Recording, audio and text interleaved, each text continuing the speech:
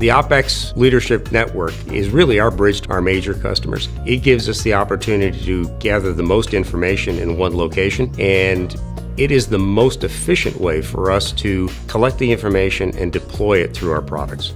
OpX is constantly looking at what our customers find to be the most important things for them to make improvements in their organizations. As we look at developing new products, we need that information in order to get insights as to where our customers are heading in five years. That's the real value that OpX provides to Mettler Toledo.